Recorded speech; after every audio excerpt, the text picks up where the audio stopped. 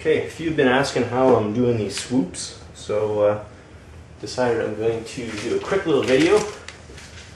Probably easier than trying to explain it. So first I do cleaning of my glass.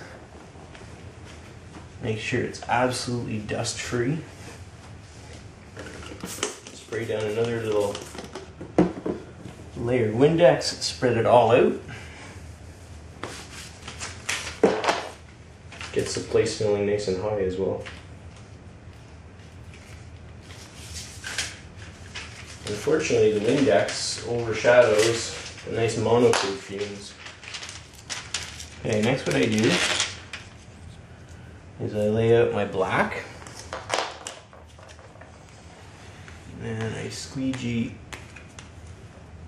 all the Windex out from underneath it. Let's see, this is a Tim Hortons gift card. Unfortunately, I ran out of money on it. So it's been relegated now to Squeegee Master.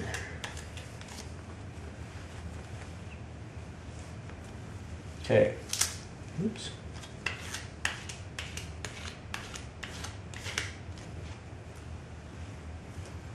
Okay, there's my black.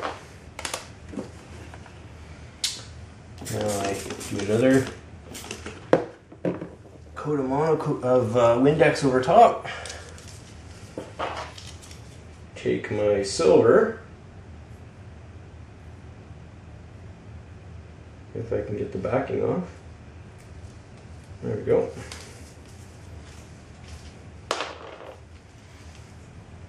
Place my silver swoop over top.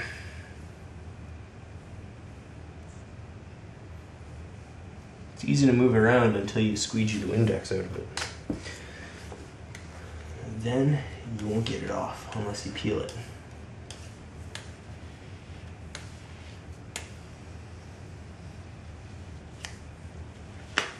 Okay. See a little bit more underneath there. Should look glass smooth when it's done. See there was a little tiny wrinkle right here in the uh, silver. Just make sure all of the air is out of it, or the Windex is out of it. That'll iron down later. Okay, so I've got my silver on top of my black. And what I do is I just go around trying to keep real nice smooth border.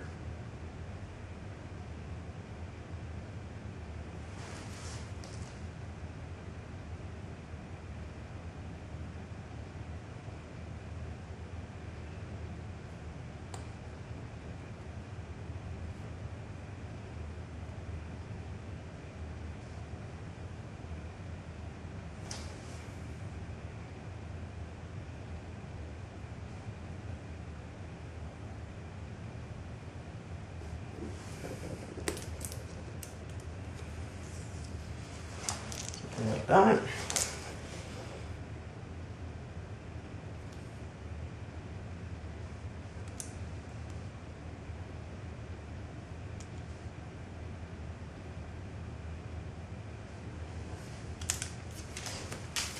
That.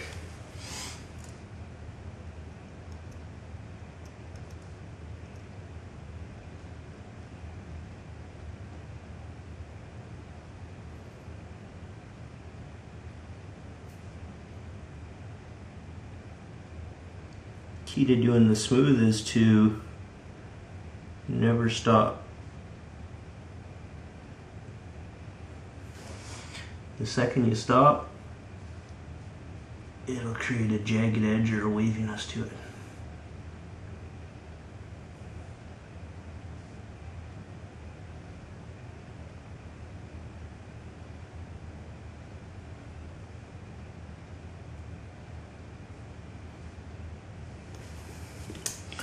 But this is going to be one exciting video.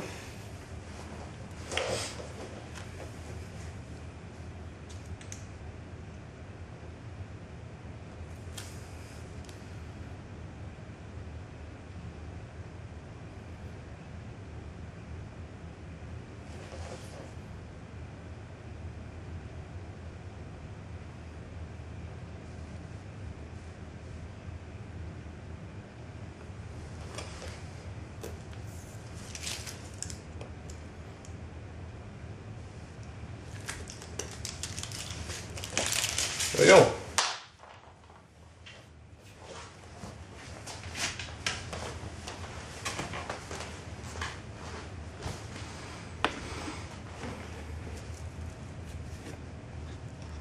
One swoop, done. Time to stick it on. Basically do the same now. I'll take the swoop, look at all my cuttings.